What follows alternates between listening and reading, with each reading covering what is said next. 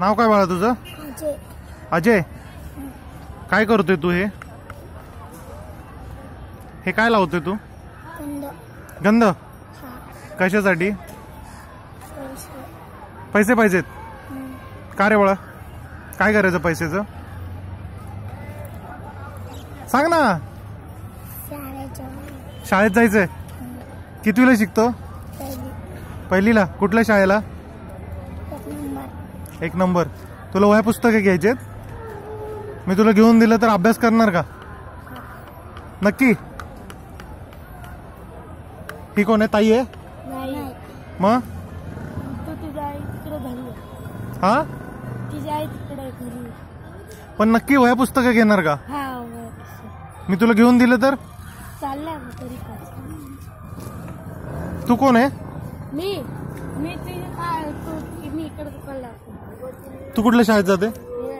शाळेत नाही जात? याचे दोन तीन एक बहीण आहे याची शाळा हिची हा. आणि दोन भाऊ आहे. मग तुमच्यातलं कोण कोण शाळेत जाते? मी. तू जाते शाळेत? तो पण नाही जात? सोडली सातवीला. का रे बाळा? तो का सोडली शाळा? परत बेकार आहे. मग तुम्हाला आई तू वारली बाप अं, लक्ष देत नाही. मग तुम्हाला जर शाळेची वह्या पुस्तकं दिली तर शाळेत जाल का तुम्ही? कुठं? हा.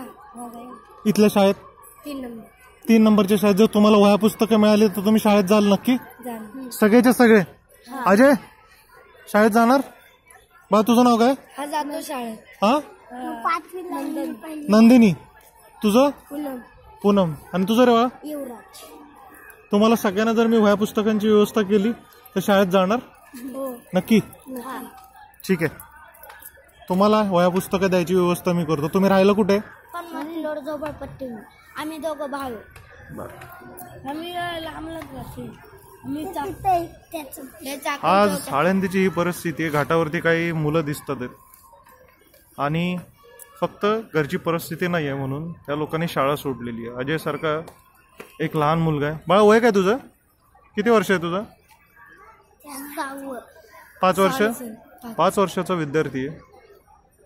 शाळा वयाची शाळा पुस्तकं मिळावी म्हणून हा इथे गंध लावत दिसतोय. आळंदीचा घाट आहे पवित्र ठिकाण आहे. लाखो वारकरी इथे येणार आहेत.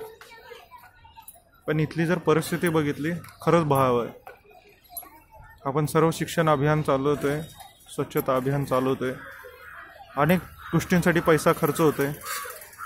पण जी मूळ गोष्ट आहे तीच आपण कुठेतरी विसरत चाललेलो आहे. प्रशांतराव धन्यवाद. हो, सर